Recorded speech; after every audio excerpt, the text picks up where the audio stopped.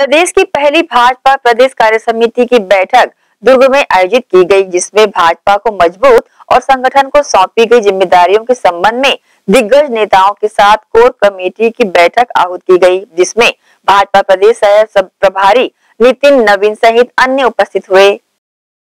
आगामी चुनाव को देखते हुए छत्तीसगढ़ में भी अपने पैर जमाने, संगठन को और मज़बूत बनाने की पहल को लेकर प्रदेश में पहली बार भाजपा प्रदेश कार्य समिति की बैठक, भारतीय जनता पार्टी प्रदेश पदाधिकारियों के साथ आयोजित की गई।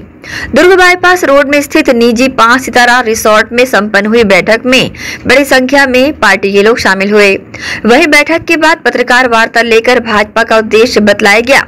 इस अवसर पर आयोजित बैठक में प्रमुख रूप से भारतीय जनता पार्टी के राष्ट्रीय उपाध्यक्ष एवं पूर्व मुख्यमंत्री डॉक्टर रमन सिंह, भारतीय जनता पार्टी प्रदेश का प्रभारी एवं बिहार सरकार के कैबिनेट मंत्री नितिन नवीन, भाजपा प्रदेश अध्यक्ष विष्णुदेव साय, केंद्रीय राज्य मंत्री रेणुका सिंह, प्रदेश महामंत्री किरण किरण देव नारायण चंदेल, भूपेंद्र सवन्नी, राज्यसभा सांसद सरोज पांडे, नेता प्रतिपक्ष धर्मलाल कौशिक व पूर्व राज्यसभा सांसद राम विचार नेताम शामिल हुए। बैठक को लेकर न्यूज़ टीम को प्रदेश प्रवक्ता नीलू शर्मा ने अपनी प्रतिक्रिया दी है।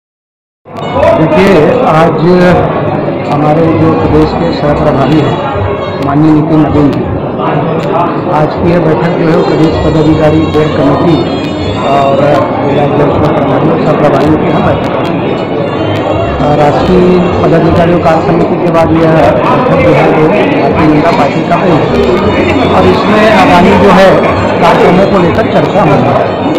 आगामी देखिए, चुनाव तो अगले 2023 के नवंबर में है भारतीय जनता पार्टी हमेशा से चाहे वह संगठनात्मक काम हो, चाहे चुनाव के दृष्टिकोण से लगातार अपने संगठन के विषय को लेकर और हर तीन महीने में बैठकें जो है, चाहे वह राष्ट्रीय कार्य समिति हो या प्रदेश की कार्य समिति, पदाधिकारी की बैठक वो होते रहती है।